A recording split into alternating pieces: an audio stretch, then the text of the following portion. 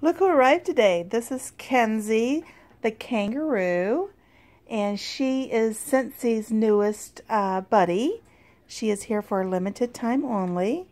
She has a scent, the scent packs go in her pouch. There's a zipper in here. That's where the scented scent uh, pack goes in. And um, of course that comes uh, free with her. So you get the scent pack of your choice.